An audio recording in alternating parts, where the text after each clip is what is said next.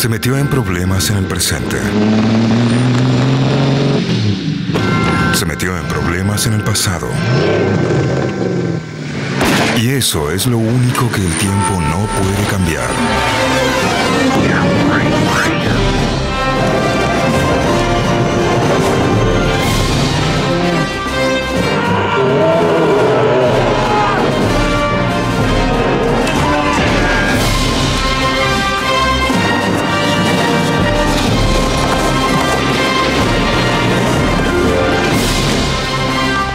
La película que fue, es y será el clásico de Michael Fox.